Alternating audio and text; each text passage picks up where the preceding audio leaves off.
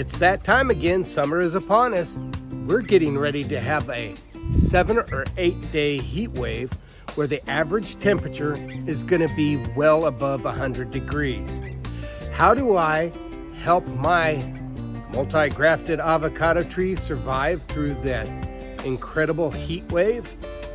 We're going to take a look at that but first, if you like this channel, make sure to hit that like, subscribe button, notification bell. Comments and questions, leave them in the comment section below. I do my best to get back to everybody with their comments and their questions. So let's take a look at how I help this avocado tree get no damage in temperatures above 100 degrees. It's no surprise that avocados do best in temperatures significantly below 100 degrees. But here in the San Joaquin Valley, we see that temperature many, many times um, a year. As a matter of fact, we've already seen seven days above 100 degrees and we're only in June. But as you can see, my avocado tree is lush and beautiful and still holding a lot of fruit. Though it did lose a few when the temperature was above 100 and the wind was howling at 30 miles an hour. But I got a good, pretty darn good crop. The thing is, um, a lot of people complain that, man, just the heat will just create all kinds of problems for their avocado trees. And uh, someone even suggested that maybe I tent my tree and protect it against the heat. But that's not true. I do not do anything special when it comes to shading my tree. Though, if your tree is used to it and the temperatures are hot and it damages the um, the leaves whenever you uh, whenever the heat wave hits, it's probably best that you put a little shade cloth out. Though, one of the things that I find that works best is a proper irrigation practice. And that is, I, um, first off, well, my tree's in the uh, grass. So that offers a lot more cooling uh, of the ground. Because when the temperature's 100, 105, 110, and you have a uh, bare ground, that darn thing is just the soil temperature is going to be 120 degrees or above. Not good for avocados. And so I, uh, I, I grow this in my front yard, so it has the benefit of the grass reflecting, or I should say shading the soil from the heat. Another thing is a really good irrigation system. Uh, I have it being in the, uh, the tree being in my yard, I have uh, regular sprinklers that come on, but that just keeps my lawn just barely alive.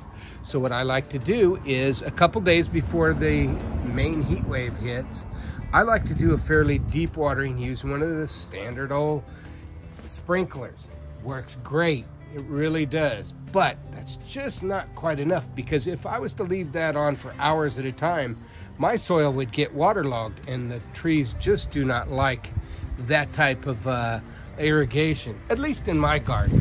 And again, I'm not a, uh, a professional avocado grower. I just am a home gardener that has a knack about keeping his avocado trees alive in uh, extreme weather. What I end up doing is this. Uh, just before, like here we are like two days before the heat wave, and I use a special soaker hose. But it's not one of those big soaker hoses that you hook, regular soaker hoses that you hook up to your um, your, your lawn uh, hose. It's a special one that I make, and I'm going to take show you guys how I how it works. So here's a close-up of the basic design of my uh, my deep watering um, soaker hose. As you can see, it's parts made from a, a uh, drip irrigation system. It has a, a regulator, that uh, pressure regulator, and then here's an adapter. And then I put um, some drip irrigation line, not the thick one, the little quarter inch, I believe it is. And then here we have the soaker hose, little soaker hose. And I usually do, it depends on the size of your, size of your tree. This one's only about three or four feet long, but this is good enough to truly deep water, but not flood your avocado tree. I put this under the canopy and I leave it run for a couple hours every day before the heat wave hits. So one, one more time, I'll show you. Here's a pressure regulator and it keeps the water come flowing at a uh, regular rate.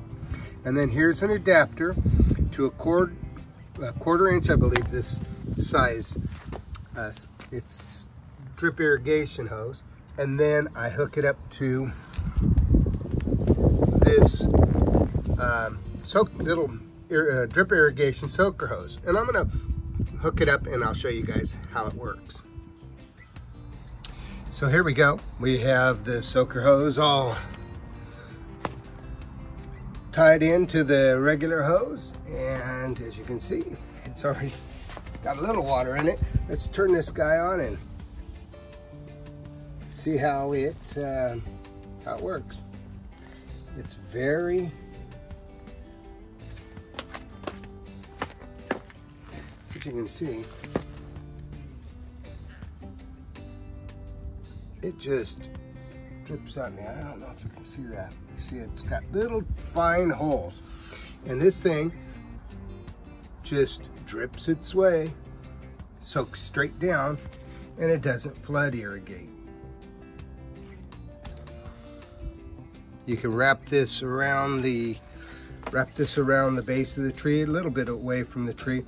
Um, what I do is I usually, since this is a small soaker hose, I usually put it uh, around half underneath the canopy, about two feet away from the trunk, maybe about two to four feet away from the trunk, and then I, um, and then I'll rotate it around. Or you could do two. It's easy, easy enough to do. There you go. That's my special soaker hose. A lot of you guys have been asking about it. And as you can see on my avocados, they're doing just fine. No sunburn, and we've had several days of 100 degree temperatures. No sunburn whatsoever. And there's a lot of, there's a lot of fruit that's not even under the canopy. And I believe that it's my irrigation. So if you like this channel, if you like growing tropical fruit trees in marginal climates, make sure to hit that like, subscribe button, notification bell. Comments and questions, leave them in the comment section below. I do my best to answer everybody's questions and their comments. You have a wonderful day.